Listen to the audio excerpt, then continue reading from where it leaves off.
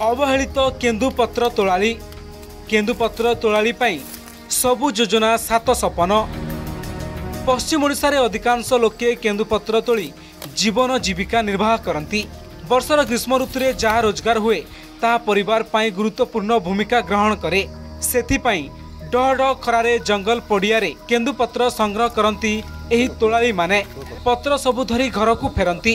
ପୁଣି ସେହି ପତ୍ରକୁ ବାନ୍ଧି ପତ୍ର ଫଡ଼ିକୁ ନେଇ ଯାଆନ୍ତି ଶୁଖାଇବା ପାଇଁ ଆଉ ସେଠାରେ ନିଜର ପତ୍ରର ହିସାବ କରି ଫେରିଥାନ୍ତି।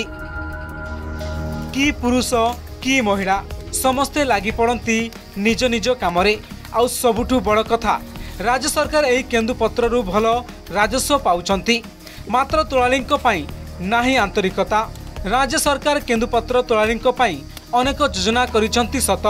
ଯେମିତିକି ଛାତ୍ରବୃତ୍ତି ବୋନସ୍ ରାଶି ଭଳି କେତେ କ'ଣ ଯୋଜନା ହେଲେ ତାହା ତୋଳାଳିଙ୍କ ନିକଟରେ ଅପହଞ୍ଚ। ଏପରିକି ଛତା ଚପଲ ଟୋପି କ୍ୟାରି ବ୍ୟାଗ୍ ପାଇଁ କାହା ଆକାଉଣ୍ଟକୁ ଟଙ୍କା ଯାଉଛି ତ କାହା ପାଖକୁ ଯାଇନାହିଁ। ଆଉ ହଁ କୌଣସି ଦୁର୍ଘଟଣା ହେଲେ କେବଳ ବୀମା ରାଶି ଦୁଇ ଲକ୍ଷ ଟଙ୍କା ବ୍ୟବସ୍ଥା ରହିଛି। ମାତ୍ର ତାହା ମିଳିବା ଭାରି କଷ୍ଟକର।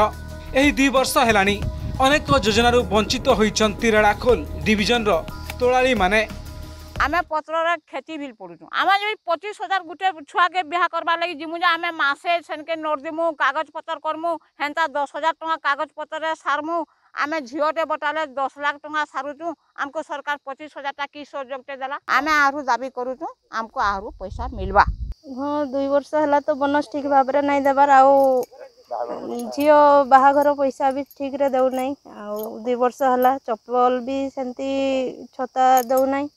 କିଛି ଯଦି ଚପଲ ଛତା ମିଳିଥାଏ କିଛି ଗୋଟେ ସୁବିଧା ହେଇତା ଆଉ। ରେଡ଼ାଖୋଲ କେନ୍ଦୁପତ୍ର ଡିଭିଜନରେ ମୋଟ ନଅଟି ରେଞ୍ଜ ରହିଛି। ସେଥିମଧ୍ୟରୁ ମୋଟ ସତେଇଶ ହଜାର ଦୁଇଶହ ଛସ୍ତରୀ ଜଣ ପତ୍ର ତୋଳାଳି ଥିବାବେଳେ ଏକ ହଜାର ଚାରିଶହ ବାସ୍ତରୀ ଜଣ ପତ୍ର ବନ୍ଧାଳି ରହିଛନ୍ତି।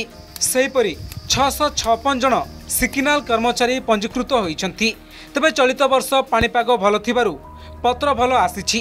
ଏପ୍ରିଲ ଚବିଶ ତାରିଖରୁ ପତ୍ର ଖରିଦ ଆରମ୍ଭ ହେଲାଣି ଗତ ବର୍ଷ ରାଜ୍ୟରେ ରେଡ଼ାଖୋଲ ଡିଭିଜନ ପତ୍ର ସଂଗ୍ରହ ଓ ବିକ୍ରିରେ ଭଲ ବ୍ୟବସାୟ ବି କରିଥିଲା।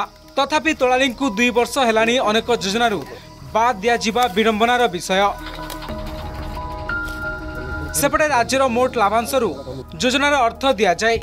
ଦୁଇ ବର୍ଷ ପ୍ରଡକ୍ସନ କମିଥିବାରୁ କିଛି ଯୋଜନା ବନ୍ଦ ରହିଥିବା କଥା କହିଛନ୍ତି ଡିଏଫ୍ଓ। ପ୍ଲାନ୍ ଇଏ ବୋନସ୍ ଯେଉଁ ଅଧା ଦେଉଛି ଆଉ ଛୋଟ ଛୁଆ ହେଇଛି। ଆଉ ଛ- ଆମ କାହିଁ ହେତା ଆଜି କରୁଛୁ କିଛି ନା କରିବାକୁ ଗୁଦାମକୁ ଫଡ଼ିକୁ ଆଜ୍ଞା ଶୁଖାଇ ଦେଉ ତ ଶୁଖାଇକିରି ଆସୁ। ଏଇଟା ଆକ୍ଚୁଆଲି ଠିକ୍ ନୁହେଁ ବୋନସ୍ କି ଛତା ଜୋତା ଯାହା ବି ଆପଣ କହୁଛନ୍ତି ସବୁ ମିଳୁଛି ଟାଇମ୍ଲି ଦିଆହେଉଛି ଏ ବର୍ଷ ବି ଦିଆ ହେଲାଣି। ଆପଣ ଅ, ଏ ବର୍ଷ ଫିଫ୍ଟି ପରସେଣ୍ଟ ଦିଆହେଇଛି ବୋନସ୍।